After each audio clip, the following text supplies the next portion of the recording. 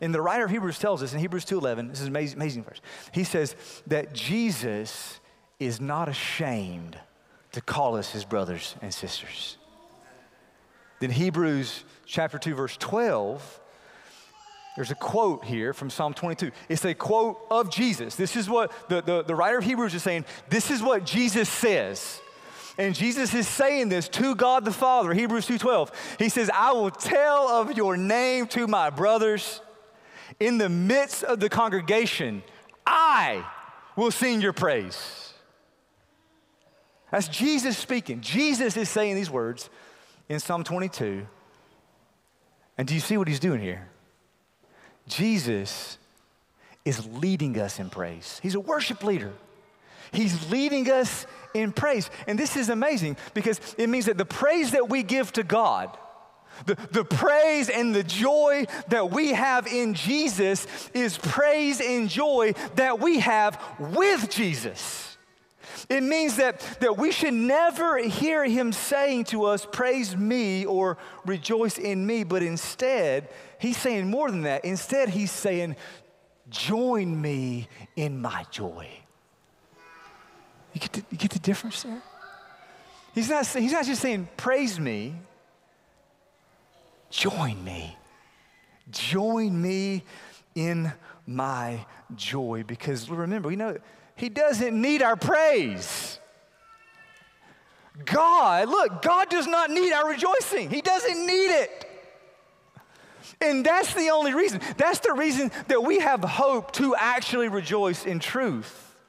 The joy that Jesus calls us to is deeper than the universe. It's from before the foundations of the world. It's what's behind. The joy of Jesus is what's behind everything we see. This is the joy of God the Father, Son, and Holy Spirit that was and is and is to come. And that's why, that is the only reason why we can have real joy no matter our circumstances.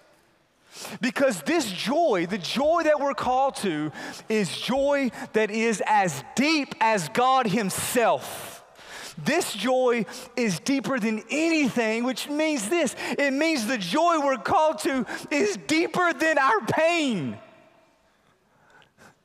our hurts.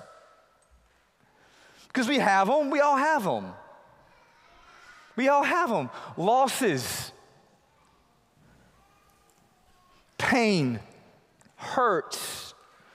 And see, sometimes I think, and we're all, we all do this, sometimes I think we can get confused and we can think that um, our joy, we're just supposed to have a, enough joy to cover over the pain.